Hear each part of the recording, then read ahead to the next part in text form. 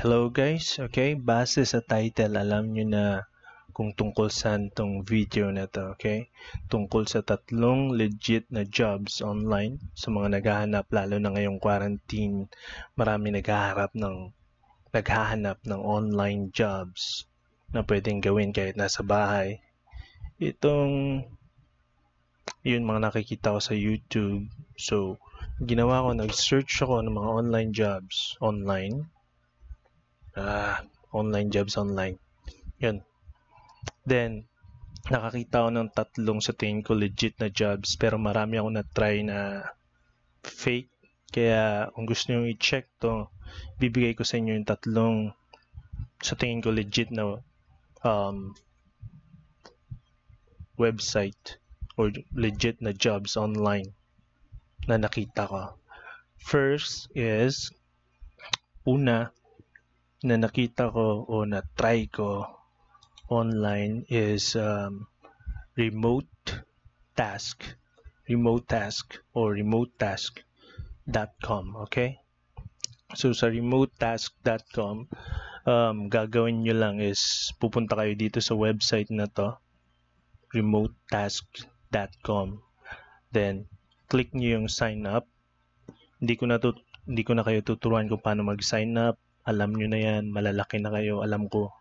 Kasi marunong na kayong gumamit ng computer or cellphone, okay? So, alam nyo na kung paano mag-sign up. Basic lang yun.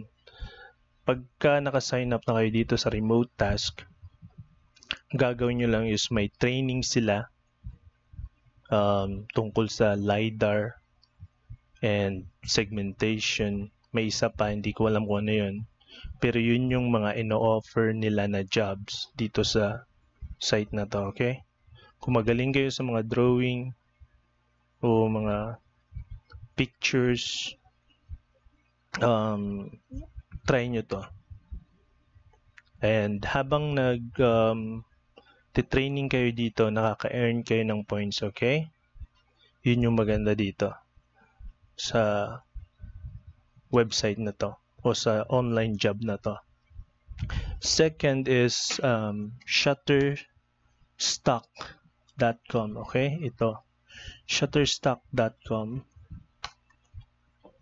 Shutterstock.com. Dito naman sa um, website na to or sa online job na to, ang gagawin nyo is mag-upload kayo ng mga photos. Okay? Kung magaling kayong kumuha ng mga pictures, kung maganda yung cellphone nyo, yung camera ng cellphone nyo, pwede nyo magamit. So, mag-upload lang kayo ng mga pictures at magkakapera na kayo. So, hindi pictures nyo ha. Um, pictures na kayo yung kumuha. For example, mga view. Kagagandang view. So, kasi ang ginagawa nitong company na to is yung mga pictures na ina-upload nyo, pag na- na-approve nila yon is binebenta rin nila sa mga company, okay?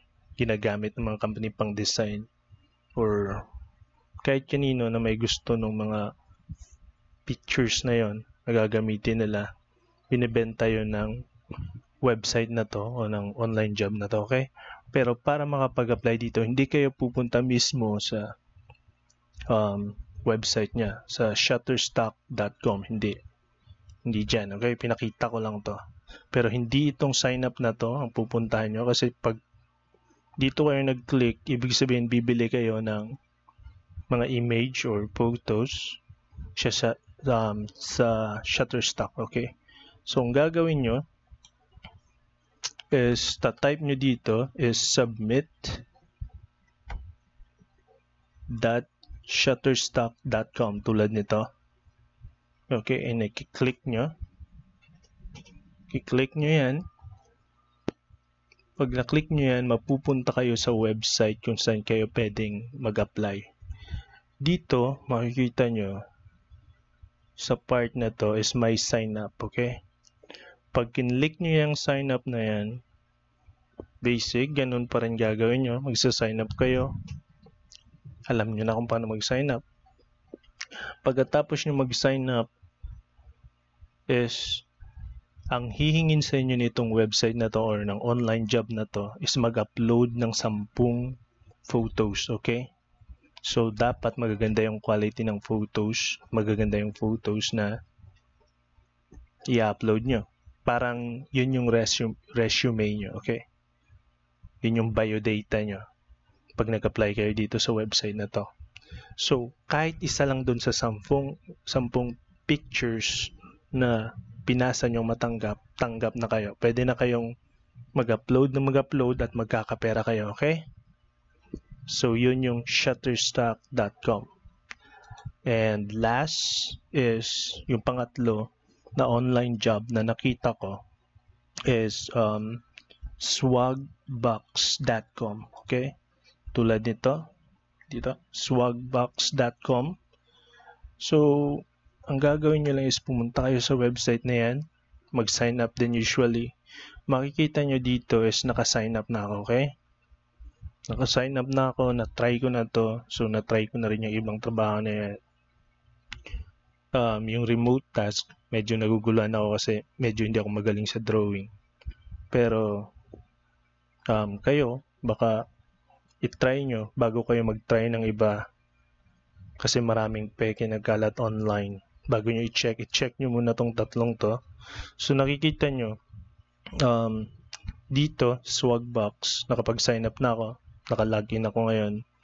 Hindi ko pwedeng, um, dito sa top right corner, makikita nyo yung points ko. It's uh, 83 SB. Yan yung points. So basically, ang gagawin nyo lang dito sa trabahong to is mag-answer ng survey i-click nyo tong answer survey. Boom. Then bibigyan kayo ng survey tapos mag-answer kayo at magkaka points na kayo.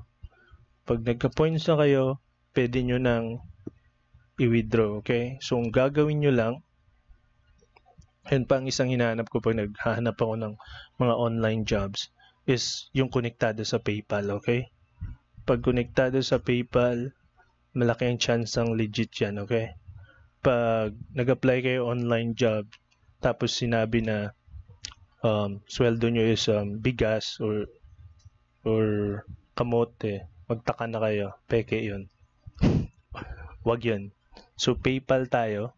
Gagawin nyo lang is mag-click, i-click nyo yung ito, um, redeem, redeem points. Tapos, mapupunta kayo dito, pagpunta nyo dito, pwede nyo i-type dito sa search box PayPal o ito nakikita nyo naman dito.